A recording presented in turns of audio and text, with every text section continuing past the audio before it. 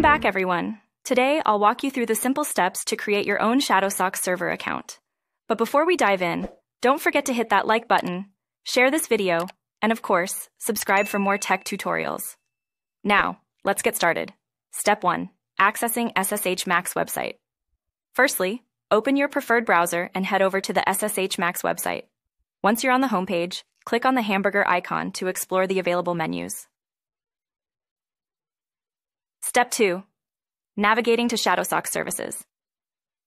Now, within the list of menus, find and click on Services. From there, you'll see a set of submenus. Specifically, locate and click on Shadowsocks to proceed with setting up your server. Step 3. Selecting server location. It's time to choose a server location. Simply pick any location from the list provided and click on Select Location to proceed. On the next page, hit the Create button to initiate the server creation process. Step 4. Generating the server. After reaching the server creation page, ensure you've checked the reCAPTCHA box.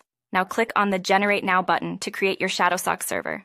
Once it's created, copy the information, be it the Shadowsocks server, Shadowsocks OBFS HTTP, or Shadowsocks OBFS TLS, and save it on a notepad for your records. Step 5. Additional information. And there you have it. Your Shadowsocks server is up and running.